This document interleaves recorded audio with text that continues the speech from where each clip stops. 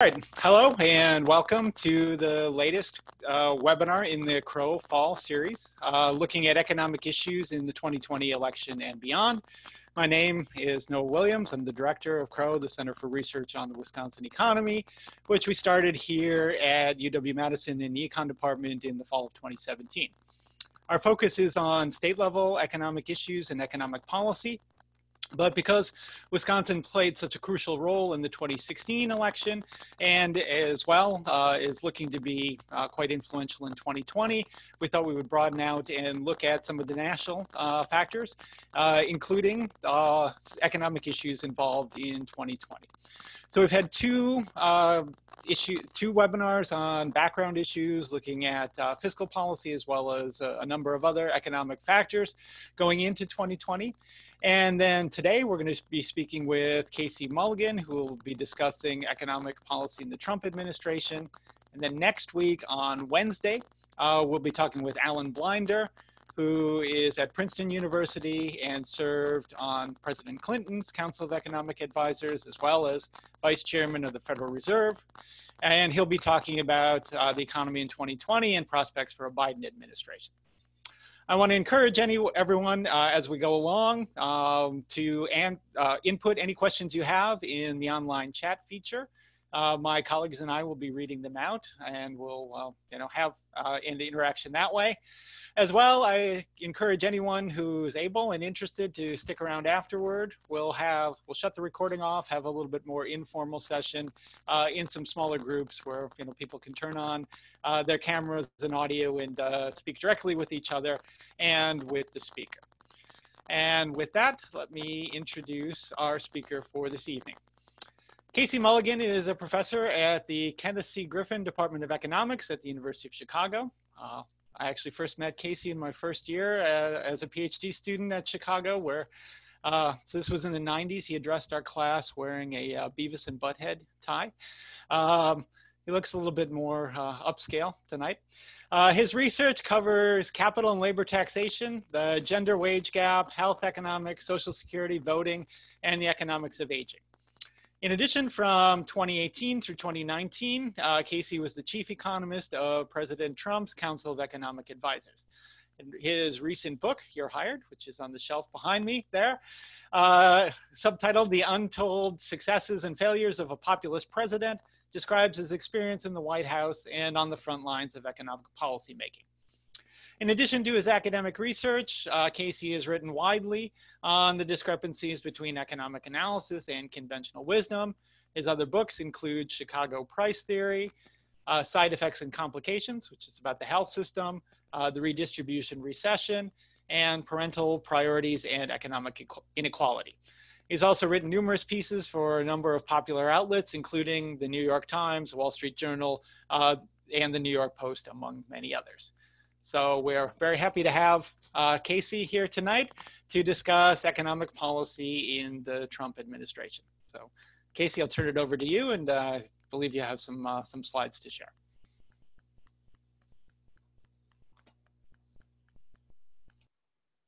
Good. Well, I'm happy to join you guys. I wish we were in person. I have fond memories of participating in seminars at Wisconsin in the past. So hopefully that'll come again one of these days soon. But in the meanwhile, I'll show you a few things over the uh, screen sharing. Um, now, I, I, take Trump pol economic policy in, in a few categories. Um, there's tax policy, of course, but it's bread and butter type of stuff, you know, stuff that Obama's people talked about doing. I guess until Trump proposed to do them, but they were talking about things like bringing the corporate rate into line with the rest of the world, um, limiting personal income tax deduction. So we wouldn't learn a lot if we spent time talking about that, uh, not to trivialize it. Um, I'm going to try to focus on the parts maybe that you you haven't heard of, heard much about. Um, I'll tell you what I mean by 44 cleanup regulation. I'm sure you've heard of it in the abstract, um, but I'm going to give you some more detail about on that. That's very important but way under the radar. And I'll give you a perspective on trade policy. I know you've heard about the trade policy, but I'll give you a perspective on that. Immigration, also an important policy area. I don't have a lot on, on that, um, so I won't put a, much time into it, but um, really Trump's view of immigration was really, I was pretty surprised to hear him say this, but he, and, and as part of his speeches now, he says, uh, citizenship is the most precious thing America has to offer. I think that's how he says it. Um, but what he said in private is, that you know, we, we should charge for that. And I'm like, yeah, that's Gary Becker's little book about his short book about the uh, radical solution to immigration was exactly that to have a fee um, for allocating citizenship. Now he he's a better politician than me, let me say that for sure. And he didn't go with that as his proposal, but he went with we we showed him all the different uh, systems that are or most of the systems that are around the world, and he gravitated toward the Canadian and Australian systems that are point based, which I view as kind of a centrally planned version of what Becker said, um, trying to guess with a point system who are the types of people who would purchase citizenship if if it were to, for sale, so to speak. So let me uh, go into some of the stuff you haven't heard. So this is a picture of a Laffer curve with the tax rate versus tax uh, revenue. And historically, we've had a vigorous debate um, and a sincere debate, let me say, about whether various federal taxes, are they at point B where raising the rate will increase revenue, or are we at point C where raising the rate would reduce revenue? And one of the fears that I had in thinking about working for Trump, and for that matter, when I was discussing with the Bush people to work for the Bush people, one of the fears I had is, you know, I would find the economy at point B, but then the politicals are going to push me to say, no, we're at point C. Um, and it turns out those fears were incredibly uh, unfounded. I mean, unfounded beyond my wildest dreams, and I'm going to explain that to you here. So to explain this, I'm going to need to zoom out of this picture. So you've seen the Laffer curve picture. Let me zoom out. Okay, so I've included the negative territory here.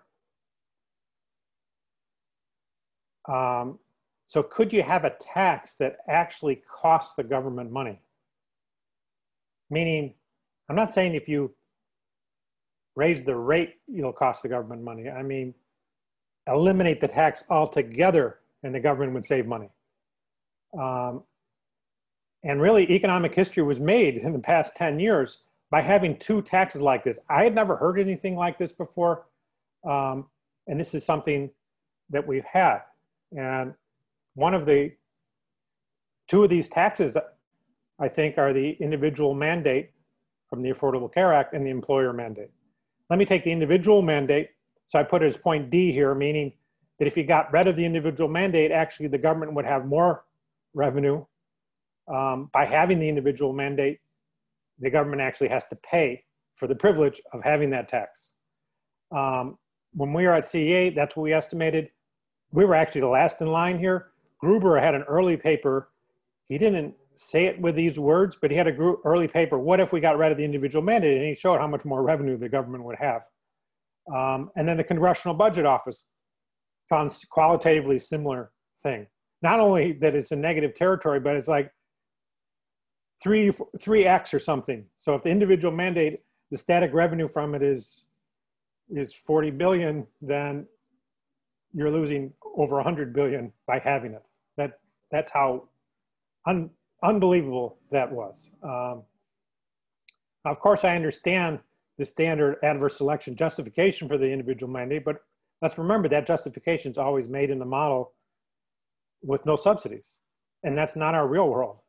Our real world has subsidies for individual health insurance, very generous subsidies. Um, and so what the individual mandate was doing was somebody would turn down subsidized individual insurance you would think they get a thank you note, but no, what the individual mandate did is gave them a punishment, a, a tax. And to avoid that punishment, people were accepting government assistance that they did not want uh, by revealed preference. So that's that's kind of what I call the 44 cleanup, trying to get rid of those things. The employer mandate still stands. That would be one of the failures, I would say. Um, but the individual mandate is is gone. The other part of this the unheard of part of Trump economic policy would be regulation. And there are, I want to mention both the principles behind regulatory policy and the uh, some of the results. Uh, one of the principles is a regulatory budget. And this is very natural. People in budgets, if you're in charge of a business, you don't let your vice presidents, you don't just tell them, go maximize profits. I don't care how much it costs you. Um, you give them a budget, you say, go maximize profits within this budget. And if you can't, uh, if that budget's not enough for you, you know, come back with your hat in hand and explain to the boss why you need a bigger budget. Our country has never done that for regulation until 2017, and now we have that. Um, you've probably heard of the two for one. Every regulation put in needs two coming out. That's a marketing gimmick, clever marketing gimmick. That's probably why you've heard of it. But the real meat of that is there's actually dollars. There's a dollar budget for how many how many costs an agency can create with its new regulations um, in its quest to find you know even bigger bigger bigger benefits. So the second kind of principled point behind this is a choice and competition. That's regulation should support choice and competition, not get in the way of it.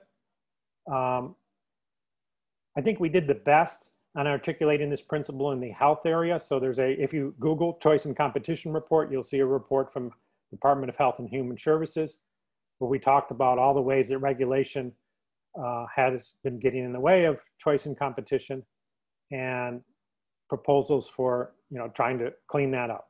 Uh, but these are principles that apply for labor markets and telecommunications markets and, and you name it. There's not such a clean principles document in those other areas, but these are certainly the principles that they've been trying to follow. And let me give you an example. This is from the health area.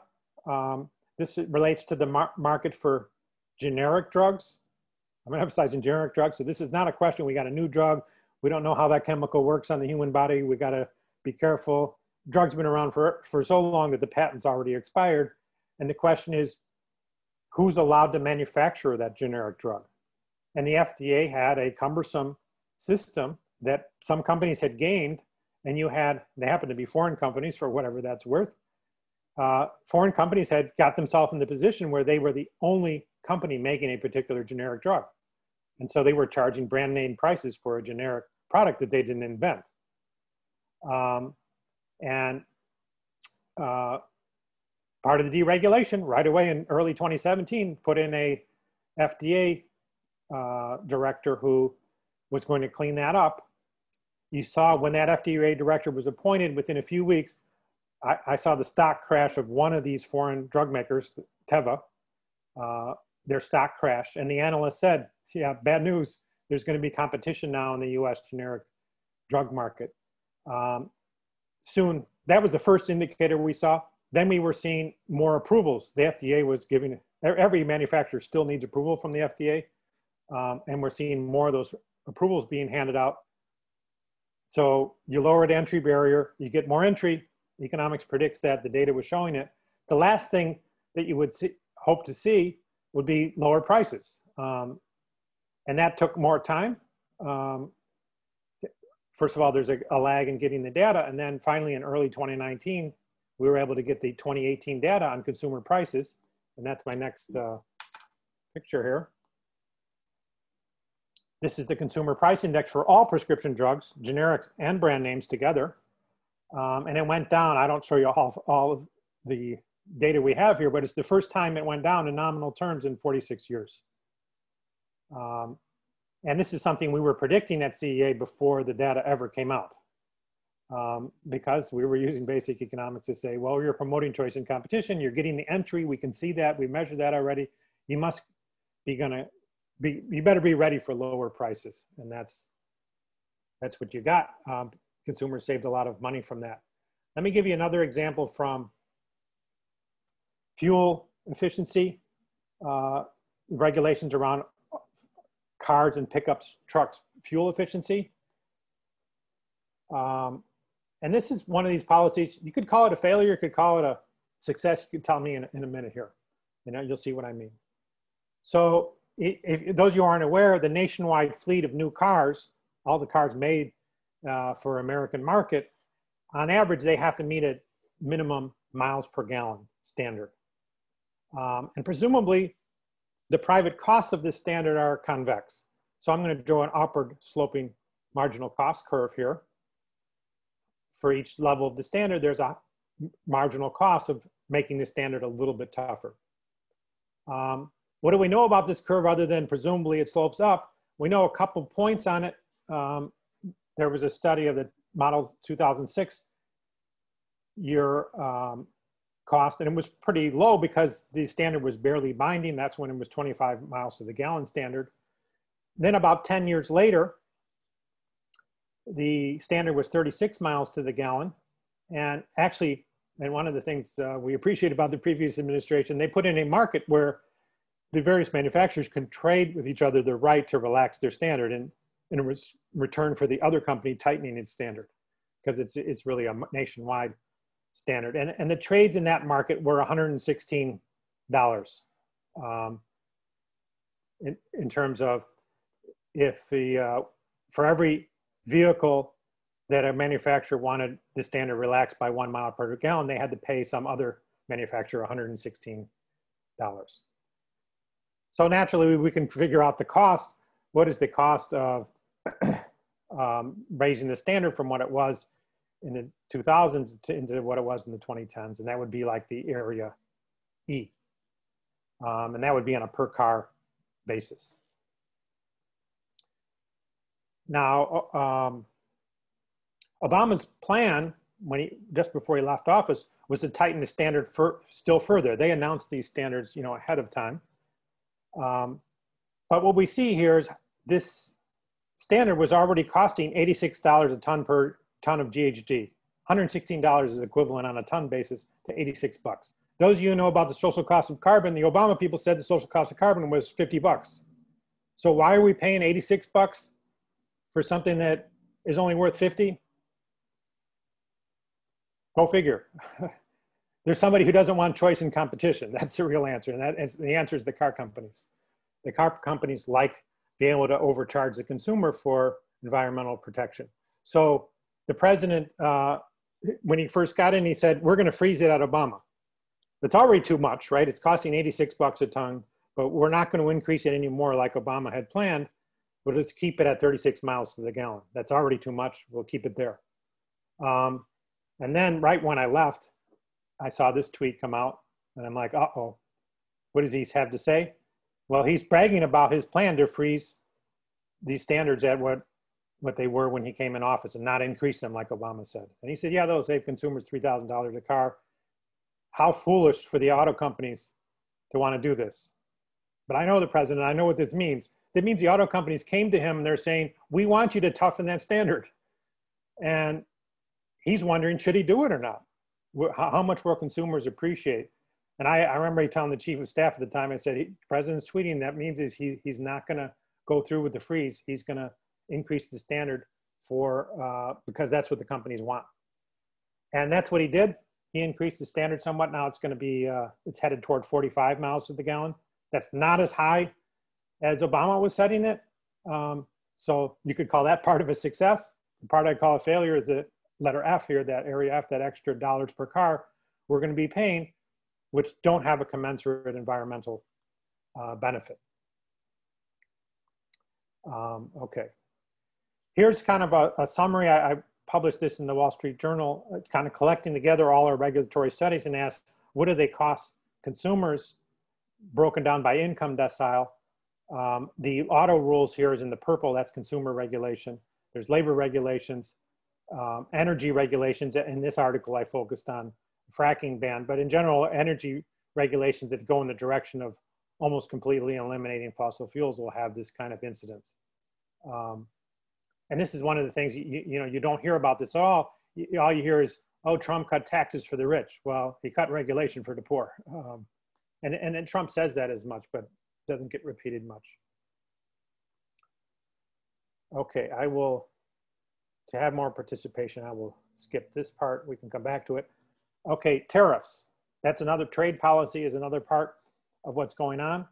The president calls him, our current president calls himself a tariff man. Uh, Ronald Reagan, those of you who are old enough to remember, he didn't call himself a tariff man. Ronald Reagan gave great speeches about free trade and its virtues and how nasty the uh, anti-free traders are. Uh, I, I, recommend you watch Reagan on YouTube. He does a great job talking about it. Um, problem is, it's all uh, it's all talk and not a lot of action from Reagan. Reagan's a quota man. That's my what I call him. He didn't call himself that. So this, and when I started learning when I was there from Reagan people and reading about Reagan administration and, and its international trade policy, I was amazed at how the special interests are, are the same ones. The same unions, the same special interests are there seeking favors now who were seeking them from Reagan. And they got them from Reagan and they're getting them uh, from Trump. And they, I presume, got them from presidents in between. Steel, special interest there. Um, auto companies. Now, Reagan didn't do a tariff on autos, um, but he did a quota for on autos, on Japanese imports. Um, and I list here in this table uh, other products where maybe Trump was doing a tariff and Reagan was doing a quota. Now, what's the difference? Well, one difference is the revenue. The quota revenue went to the Japanese companies. In fact, the Reagan people tell me that the Japanese companies would come to the Reagan White House and say, please give us a quota, and Reagan would give it to them. Um, whereas the tariff revenue goes to the Treasury. So that's a difference. Now, because you're bringing money to the Treasury now, where in the old days you were giving it to the foreign companies, Reagan did not have a trade war problem. I never heard of the Reagan trade war because I don't think there was one because the Japanese companies were very happy with this. They didn't want to fight back. Whereas uh, today, the opponent, if you want to call it that, is, is, is uh, China. And the Chinese do want to fight back um, because we're not doing the quota system for them. Here is another international trade policy. Um, it's a quota, a quota of zero in um, it, uh, coastal shipping services. Every president in my lifetime and, and my father's lifetime have promised the unions, it's quite a small union by now, that they will not budge on this quota. They will continue to prohibit any use of foreign crew or uh, foreign ships in coastal shipping. Um, Trump is the first president not to promise that to the unions. Um, and the reason I have this picture, this is an infamous, I remember this is the lowest morale day when I was there, July 16th, 2018. This was the day when there was a press conference with Putin and the president didn't say politically correct things and didn't deal with Putin in a politically correct way. And he got pilloried over that. But the real news in this conference, and that's why I show the reporters raising their hand, the real news was uh, some of the reporters asked Trump, why is the New England consuming Russian natural gas? Why are they doing that? we've, we've been complaining that the Western Europeans were consuming Russian natural gas, but the New Englanders in the United States of America are consuming Russian natural gas. And why is it? Because there's a prohibition on coastal shipping services, which actually more expensive. Remember I said choice and competition? It's much more expensive to ship things from the Gulf of Mexico or from Florida up the East Coast than it is to bring it all the way across the ocean. And that's been going on, like I said, for a hundred years. And there's all kind of perversities that have gone on here. And President Trump tried, made some noises about poking some holes in that quota and allowing some imports.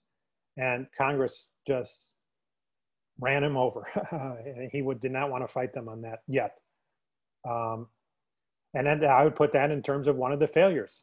This was a chance to drain the swamp, to promote choice and competition by getting rid of a regulation. And he hasn't done it, uh, let me say yet, uh, but he certainly hasn't done it. So those are the kinds of things that I see going on with Trump economic policy. Okay, great. Thanks a lot. I uh, I see we've got some questions coming in already. We'll we'll get to those uh, in just a second. And again, I encourage people to uh, to type their theirs in. I wanted to um, ask a couple follow up uh, questions. Are actually a little bit was to delve into the part that you skipped over there, um, which in reading your book, I think was one of the more uh, interesting parts. A lot of people talk about regulation, um, but I think the general understanding of regulation is perhaps a little bit limited. It's a little bit more difficult to quantify.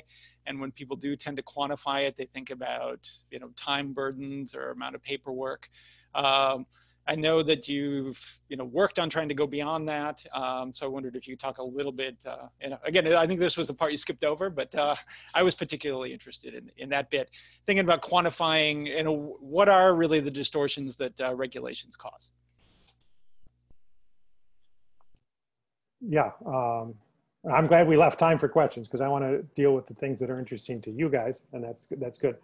So, you know, one of the things that I had begged uh, people in the White House, could we just not touch environmental regulation? Because one of the myths about regulation that it's all about the environment. Um, and anytime you see a story in the New York Times about Trump's deregulation, there's a picture of a smokestack. But that is a small chunk, and that's why it's urging them, let's just make it a zero chunk. It is a small chunk of what we're doing. Most of what we're doing is like the Jones Act, or you know, like the prescription drugs, or like the, the autos. Even the autos is not an environmental issue really. As I, as I explained, we were already at the point of costing more than we're getting environmental benefit. The real argument between the Obama and Trump people on this is philosophical. You know, can we trust consumers to do what's in their private interest?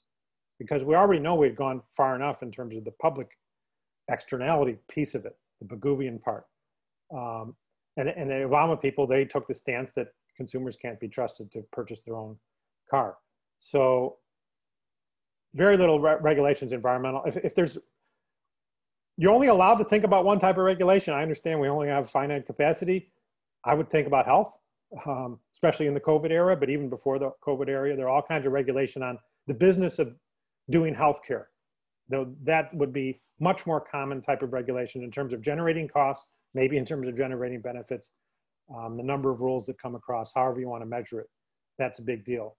Um, another big, big uh, regulatory area I would say would be uh, business to business price controls.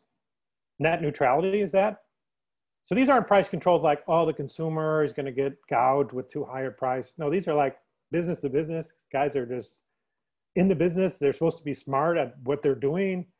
And we're regulating how they can charge each other. A lot of the health industry uh, regulations are business to business price controls. You know, and so how do you calculate, you know, the costs of that? Now, some cases we're lucky and we have, there are markets for compliance. And that's what we did with the autos. Um, there are some, I'd say too few regulations that have a safety valve where the companies can pay a fine instead of comply. I really think more regulations should have the safety valve. Um, that, that's another way uh, that it can be done. The way, so that's kind of how it ought to be done. How is it actually done? All they do is they count paperwork costs, partly because the legal part of it, there's the Paperwork Reduction Act that requires them to do extra reporting to Congress about the paperwork costs. So a lot of these regulations that would, I think an example I gave in my paper uh, with McLaughlin was the stay-at-home orders. Those aren't federal; those are state, but or, or local. But how would they value uh, count the costs of a stay-at-home order? They would say how how many pages is it? How long does it take a family to read the the order that tells them they can't go to work, they can't go to school, they can't go to a restaurant, they can't go on vacation? If it takes them an hour and their time is worth 20 bucks an hour, then that's a $20 cost. That's, I'm serious. That's how most regulation is, its costs are assessed um, it's a joke. There's no concept of opportunity cost, which in the COVID area, I, I hope we all understand opportunity cost now. The cost of the stay-at-home order is not the time it takes to read it. It's all the opportunities that you can't pursue because uh, that's there. Um, and that's, that was a battle what we were fighting a lot, trying to get these agencies to recognize opportunity costs. The environmental agencies do recognize them, but again, that's a minority. Um, but the, the health department, you know, you name it, the department, if it's not environmental, they don't recognize any kind of opportunity cost uh, to, to regulations.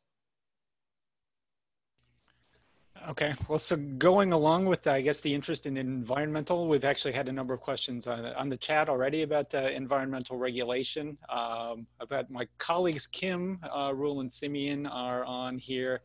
Um, I don't know if one of them wants to take one of those questions, and then we'll get back to some other issues as well. Sure, I'll uh, I'll try to summarize um, what. Uh, yeah, there's been a lot of interest in the in the chat room about uh, basically taking two tacks. Someone wanted to know to what extent your discussion about uh, transportation efficiency and uh, and, and uh, uh, miles per gallon caps or floors, I guess. Uh, to what extent they were taking into account the environmental impact of these things, and then also the, the idea that it's not just you know environmental in a small sense, but in the sense of global climate change and large and possibly uh, irreversible uh, changes to so what was the white you know, kind of what was the thinking on that? And uh, um, and maybe how was that sort of considered in, in all of these uh, questions? Okay well there's there was my thinking and there's the agency thinking which were definitely different in process although we got to a similar conclusion so if you read what the agencies do it, that's a joint rule EPA and uh, department of transportation. They have a 1500 page cost benefit analysis and they get in all the details of how do you make mufflers and how do you make transmissions and go into gory detail. Mine is one page and i showed it to you.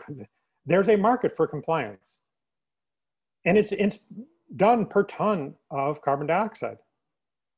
So what does a car one car company pay another for the right to sell a car that'll emit one more ton of carbon dioxide and the answer is before the regulations got more strict, 86 bucks a ton.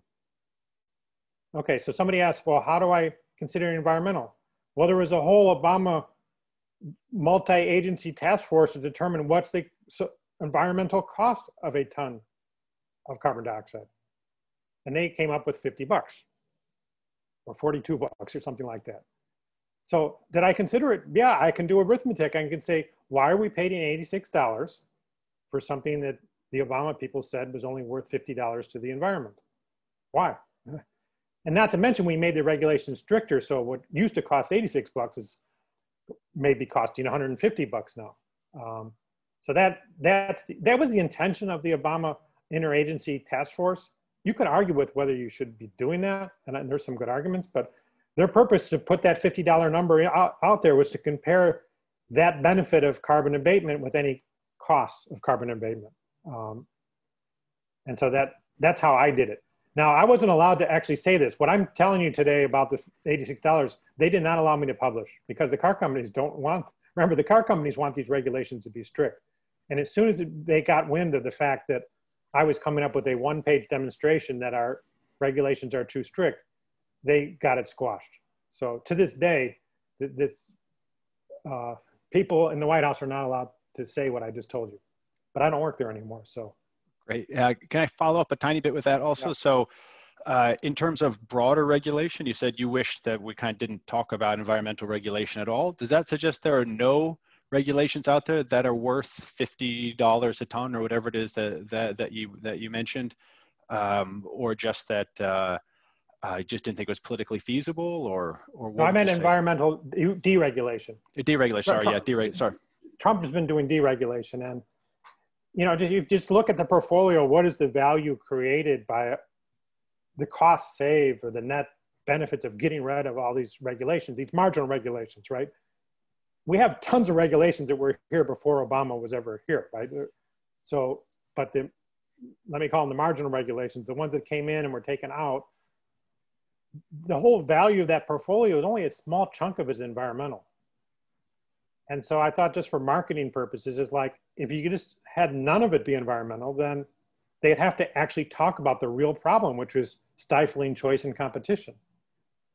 Instead of hiding behind, and this is the special interests love to hide behind the environmental protection. That they want you to think that all regulation is making the water cleaner and the air cleaner. And meanwhile, they're just taking money from the consumer. Exhibit one uh, of 200 would be, you know, the procedures for generic drugs, making generic drugs. got nothing to do with clean air and water. It's got to do with a couple companies well connected want to make money hand over fist by blocking entry. So you mentioned um, health as one of the main main uh, sort of sources of regulation, and I thought there was. Uh, you know, a lot of people have a sense that health is not sort of amenable to market forces. I mean, I think you, you showed one example there with uh, with prescription drugs, showing just the opposite that it's a it's a good like anything else. Uh, one of the interesting stories I thought in your book was about the uh, the sort of the side effects, if you like, of um, or which led to the rise in the opioid crisis. So, so, I wondered if you could talk a little bit about that and how uh, maybe some unintended consequences played a role there. Yeah, now this is another one of the area where there's a single policy area where I think there are both successes and failures in the Trump administration. Um, there's an opioid epidemic in the sense that the fraction of our population that dies by overdosing on opioid drugs um, is quadruple or something what it normally is. And, and the US overdose rate was already kind of high an international standard before getting to this. So this is called the opioid epidemic. Um, why did that happen? Well, people consume more opioids, if I may beg the question. Um, now, why did people consume more opioids? There's a lot of theorizing on this, but the thing that nobody talked about is well, what's going on with the price? Our basic Chicago's trading right now is when you talk about quantity of something, you got to talk about the price too. And maybe multiple prices if there are distortions in the market, like a tax or something like that. Um, and so that's what we did. We say, oh, the opioid epidemic by definition is about the quantity of opioids. What about the price? What's going on with that? And we found that the price of opioids had fallen like a rock, mainly due to subsidies. Um, on the prescription side, the price of opioids had fallen like a rock um, due to subsidies. A lot of those subsidies were coming from Medicare Part D, which is a Republican program, which is one reason there's not a lot of interest in the Trump administration to, to look too closely at that, to, to say the least. Um, Obamacare is another, it's got another set of subsidies for, let me say, the opioid lifestyle. Um, so you had opioids getting cheaper by prescriptions cheaper by a factor of five. What's the elasticity of demand? For opioids? You, you, you tell me, but don't tell me zero. Um, I don't think that's going to get empirical support. But you can imagine that cutting by a factor of five wouldn't be surprising. Maybe double the quantity consumed, something like that, um, which is more or less in line what happened. Now, the other opioid area um, is illicitly manufactured opioids. So fentanyl and heroin usually mixed together.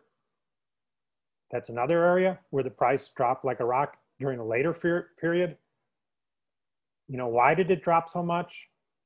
I think part of it is certainly coincident with it. If you look at, say, monthly data, was that uh, Obama and Eric Holder, as Attorney General, decided that they didn't want to fight the war on drugs anymore.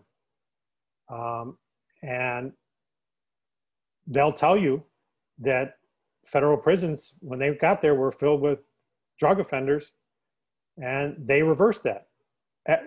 The federal prison population went up 30 something years in a row, they will tell you, and they went down every year after they started that. Um, and when they that federal prison population started going down, perhaps it's a coincidence, the price of heroin came down too. Um, and so heroin was getting cheaper.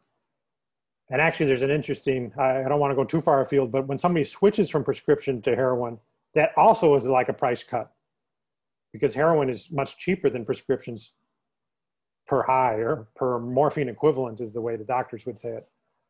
Um, and the federal government has done very little to even acknowledge these changes. They've done a few things, and that's where the successes would be.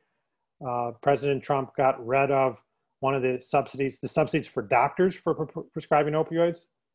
And the health department fought them to the very end. Even if you read in the Federal Register when they put out the, the new regulations around that subsidy, they're protesting the whole way. they're saying we don't see a reason to do this, but the president told us, so we're getting rid of. We're no longer going to subsidize doctors for prescribing opioids. Um, and then the Obama policy of not prosecuting drug offenders, at least on paper, Jeff Sessions ended that. Um, I still think there are a lot of US attorneys that are more doing it Obama's way. Um, and maybe that's all right. I'm not saying that we should fight the war on drugs. I'm just saying if you stop fighting the war on drugs, drugs will get cheaper and people will consume more of them. that, that's the economist in me talking. And if we can't have that conversation, then I don't see how we could possibly understand uh, what's going on. No, great. No, I think that makes a lot of sense. Um, I want to get back into some of the questions from the chat. As you might expect, we're getting a couple uh, hot button areas in immigration and trade. Uh, questions are coming in, so I think we'll start with uh, one on uh, immigration. I think Simeon, uh, if you want to come. Yeah. On. So one of the questions in immigration was, you know, how much headway did the administration actually make towards something like a point system, like the Australian and Canadian model? Is there something in the pipeline? Was this ever seriously considered? Or is this kind of something that's just too uh, too touchy of a topic to to have made any headway? You know, I don't know how you measure serious. Everybody knows that Pelosi's not going to do anything with Trump on on immigration. So when Trump puts out a detailed plan for immigration, is that serious or not, knowing that it'll never become law? Or, or at least, you know, maybe it's sitting there for one day when Paul Ryan's the speaker again. I don't know. so I don't know if to call it serious. I mean, the president gave it a lot of attention. Stephen Miller and Kevin Hassett, uh, Rick Burkhauser, they worked together on this. Uh, Jared Kushner, it had the top minds on it, but we all knew it was not going to become law in, in this term. Um, and but he, he, it is the official policy. He had a rose garden ceremony. I don't know if the media paid much attention to it. I went to it. I was paying attention. I, I didn't really read the newspapers that week to see. Maybe you hadn't heard of that, that he did that. Um, certainly, he doesn't call it the Canadian and Australian system the way I just did. Um, he has a nice name for it, the Make America Great Again immigration plan or something like that. But it's, it's a point system. Um, trying to remember his exact phrase that he uses to describe it, you know, economic criteria or uh, immigration that promotes our economy or something. That's his description of the points. Okay, so I guess it was, oh, oh no, sorry, no. go ahead. Oh, okay. I was going to change the subject. So do you want to follow up now or you're okay? Yeah, I wanted to follow up because there was a little bit, uh, a couple of the questions which kind of came in the chat was th- there seemed to be a little bit of a conflict maybe between that point-based system and then re- restricting, say, student visas or the H-1B program. Uh, I wonder if you think those are in tension and uh, if so, you know, how do we think about uh, the source of that tension? it fits right in with the principles. Uh, I'd rather not talk about it on a recording. Um, Fair enough. That, that relates to an industry that I'm employed in. This is the cancel culture. Okay. So let's talk after the recording's turned off. Okay, fair enough. Uh, okay, um, so let's uh, turn the topic then to uh, to international trade. I think uh, you know most of the the you know students here would have learned in an econ class that tariffs typically aren't a good idea particularly if you're thinking about long run uh, kind of ideas what's the what's the motivation for for tariffs you want to think about china or you want to think about somebody else that's fine uh, you know, what are what are tariffs fixing okay standard economic logic what's the alternative is tariff doing anything relative to free trade that's one question maybe that's the question that's being asked Sure. Yeah, yeah. You can frame it that way. Yeah. Or is tariff a good way to deliver protection? Taken as given that you're going to deliver protection. Reagan delivered it. Obama delivered it. They're all delivering it. Okay. What's the least damage way to do it? And that may be tariffs because that's kind of a point. I mean, a price-based way of doing it instead of a quota. Um, so tariffs look good on that metric. Relative free trade, not so good. you know, there are a few arguments that are, of course, in the textbook. You can look in Bhagwati's textbook, exceptions and stuff like that.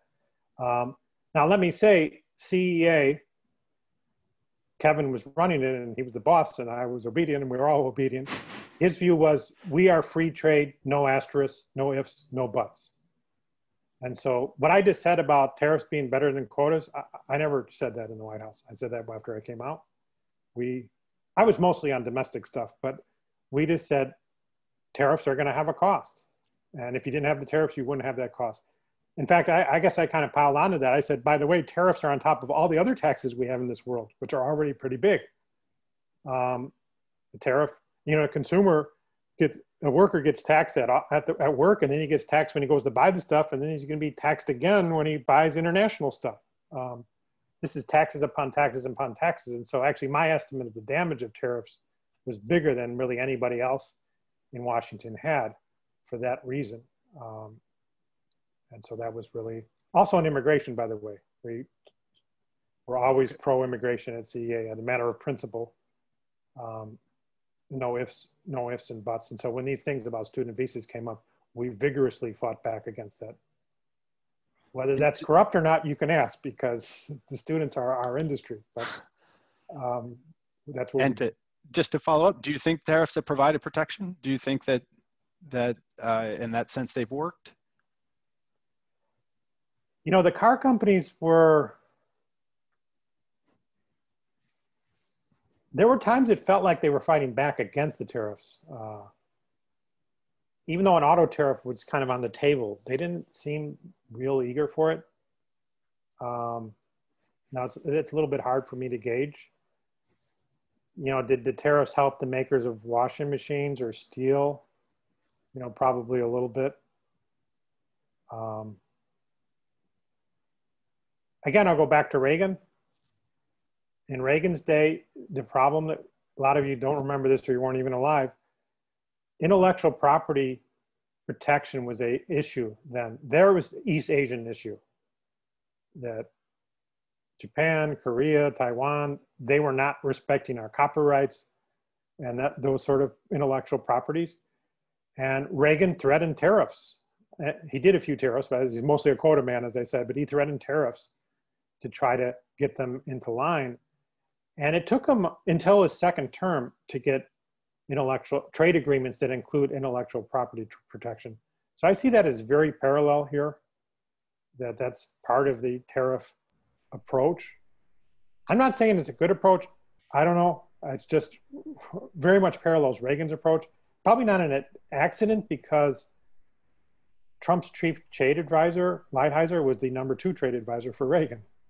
So, um, and there's a lot of Reagan people actually in the Trump administration. So I, I kind of see it in, in that perspective. Um, if in the end of the day, there's no trade agreement that gives us a higher level of intellectual property protection, then I'll say there's been a failure somewhere with the tariffs or the negotiations or whatever levers you were pulling didn't deliver the result um, that Reagan was able to get in, in his second term. So maybe you can just briefly follow up on that. So do you do you think that kind of the measure of protection is going to be in part um, sort of a question of whether or not we make some gains in terms of uh, intellectual property outside the US and how it's protected? Or it, are there other things that matter? So for, I'm thinking, and this is actually a question that Anand brought up, what about agricultural exports? Are we, is there a prospect that by launching this trade war, markets for US agricultural products are going to open up? And, and would that be one, you know, a yardstick against which you sort of measure success in this in this trade war?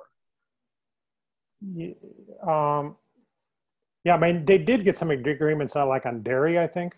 This wasn't totally my area, so I'm, I'm going from more fuzzy part of my memories, but I believe they did get, Canadians did start giving our, our dairy farmers a more level, equal treatment.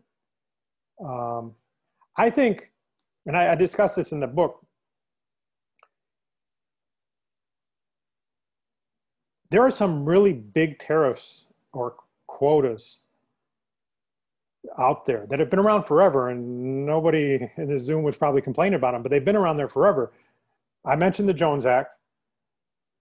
Another one I'll say is the chicken tax. Why is it called chicken tax? Long story, it's got nothing to do with chicken. It's a 25% tariff on foreign made pickup trucks, which is the most common vehicle sold in the United States today. Maybe none of you drive one, but it is very common vehicle. And it's made entirely in the United States or in Mexico. Mexico is considered part of the United States for, the, for this purpose. 25% tariff. And as a result, it's, it, it's so stringent that they get no revenue from it. If somebody were to cut one of those, because they're already at such a high level, the gains from that, I think, would exceed adding a lot of little tariffs in, in other places. Um, the costs are convex. Uh, that's one of the very general results from economics. Um, and Trump is the only one who's worked on either of those big ones. He hasn't succeeded on either, let me say. I said the Jones Act, the chicken tax, he's talked about cutting, at least for some countries, but he hasn't done it yet. Um, but if I would want to include that in the metric as well. What, you know, on the whole, what is the value we're getting from international trade? Counting everything, you know. All right, I want to change gears a little bit. I mean, I think you brought up a part of the issue in thinking about, um, you know, the CEA being pro free trade as uh, as part of, uh, you know, part of your commitment, I guess. Um, I mean, we had one question about whether there was any conflict between, you know, your role in the political process and your role as, uh, you know, an economist. Um, but then I also want to sort of speak a little bit more generally about your time in the White House. Uh, you know, certainly the the outside um, impression of the Trump White House is one of chaos and. Uh, you know the president tweeting at all hours. Um, how did that accord with uh, with your experience there? Yeah, know, it's not random. I was, as I mentioned, I was asked a couple times to join the Bush CEA, and it didn't work out. Partly because I was a little uneasy on how did my research fit with what the Bush administration's priorities were. That fit was much better uh, with Trump. So I never would have never gone there in the first place if I'm not a random sample, I guess, so to speak. I mean, because like the things I said on FDA, this basic idea that choice and competition brings gains to consumers and, and makes the economic pie bitter, bigger. I mean, that's such an easy, easy lift for, for me. It's not a conflict. And so really I found the opposite relationship. As I remember I started out by saying, oh, I was fearful that I would think we're on the B in the Laffer curve and they're going to force me to say it's C. I found the opposite of like, guys, you got like an epic tax cleanup you're doing here and you're not even realizing that it's epic. You're understanding that you got to get rid of the individual mandate but you don't understand how incredibly valuable this is. So the roles were very much reversed. You, you, get, you think of Trump as a guy who over brags everything, but his team was under bragging a lot of what he's doing, partly because they were so busy doing it. And a lot of the lawyers would say that to me, and say, Casey, we'll keep score later we're just like doing our job and getting rid of regulations that block competition and we'll figure out how awesome it is after the game is over you know um, and i understood that but th- that made for a it was not a conflicting conflict type of relationship um, most of those. And I, and I mentioned some with the health department and uh, there are a few places where where there, I, there were some butting of heads. But um, so I made a lot of good friends there. I enjoyed working there. It was not backstabbing. It was the opposite. There I really really enjoyed working there. Um, and you know I I wouldn't be. I mean, I was able to support them and uh, help them appreciate their hard work. I mean, they do work hard, and a lot of them been there a lot longer than I was. Um, and it was it was a pleasure to say, you know, here's some of the benefits of of what you're doing, and you've never heard that these benefits were there and uh, anything about. No one's going to tell you about that. You're not going to read the newspaper, but here here it is. Okay, and Trump and then, tweeting is great. I mean, Trump is the best marketing guy I had. A lot of the tweets uh, came from us. I wrote some of those tweets, and, and they were called. They got just as many Pinocchios. In fact, more Pinocchios. The stuff that I wrote for the president than other stuff that, that, other, that other people wrote for the president. I mean, the more true it was, the more the Pinocchios it gets because they could you know, the, the Washington Post does not want to admit for a second that prescription drug prices are going down because that president promised that. And of course, he's an incompetent idiot. So how could that possibly happen? The man must be the luckiest man alive that things just happen on his watch that he said was going to happen. Um, so that I really enjoyed that. I mean, he's very much he, he's great at fighting those, those those battles. He would I would have a result. He would broadcast it to tens of millions of people, and then fight the battle when people said it wasn't true. It's pretty cool. So one of the uh, signature economic policies, which I guess came in bef- of the Trump administration, which I guess came in before your time, was the the TCJA. Um, one com- the tax cut, uh, the Trump tax cuts more broadly.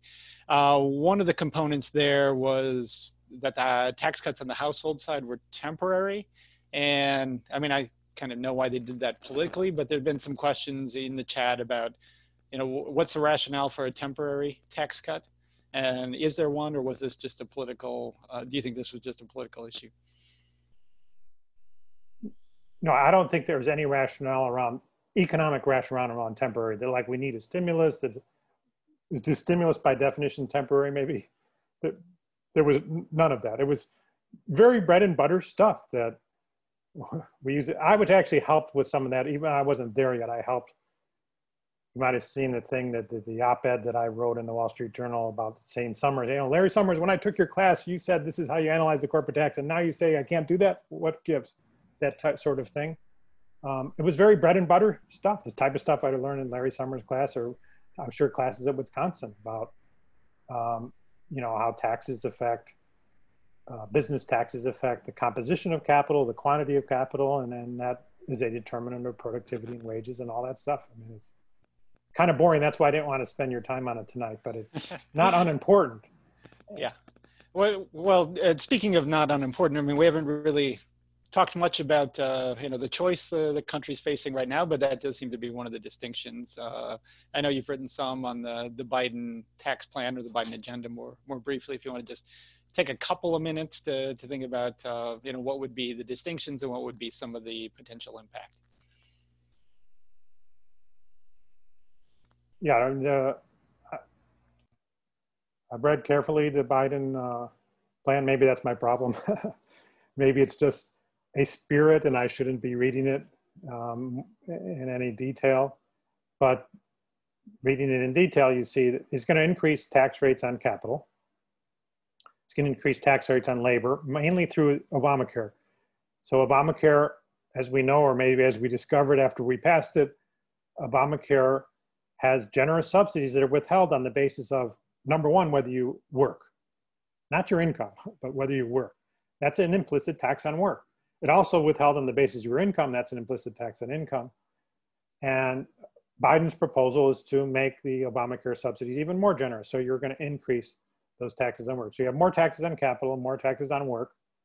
Um, and then the other thing that's going to reduce productivity, at least as we usually measure it.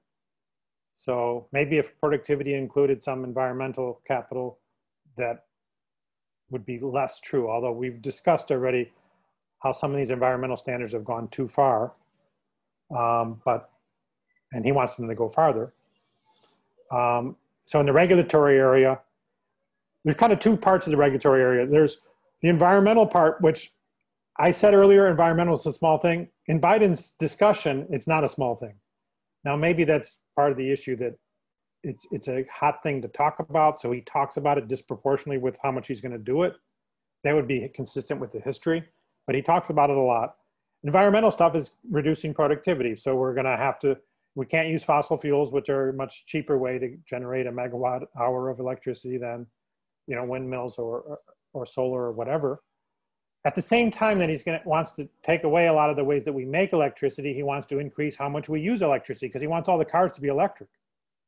So that's like a double whammy that's going to do wonders on productivity. Um, so you have it from a neoclassical growth model perspective, you're hitting it from all directions. You're putting a wedge on labor, putting a wedge on capital, and then you're reducing productivity, putting a wedge into production function. Um, that that's really the comparison. I mean, the only exception to that would be the tariffs. Officially, tariffs are not Trump's long run policy, but let's say that it is. Tariffs do create a wedge on, a, a labor type of wedge. It's like a sales tax. Um, maybe some of the tariffs are an investment good, so it's like an investment tax.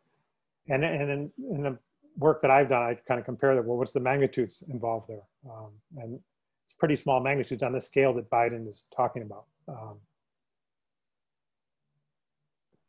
you know, maybe it achieves great things in terms of equality or making us feel good. I guess we'll see. I mean, he, I'm sure he will get tens of millions of votes. So some people feel good about those things.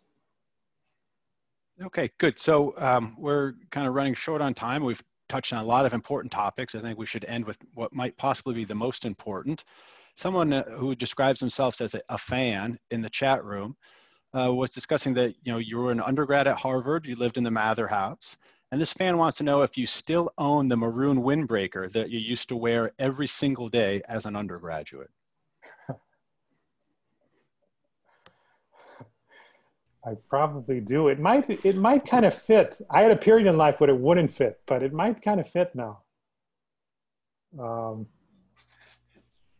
all right. Well, on that note, uh, I think we will wrap up the. So the fan was David Johnson, in case you, you didn't know. Oh, who's wow. a lecturer now in uh, in our department. One of our one of the great teachers, uh, uh, really in economics, and we're we're fortunate to have him. Um, so we'll, we'll conclude the the main part of the program. We're going to stop the recording. If people are interested in speaking more informally, uh, the plan.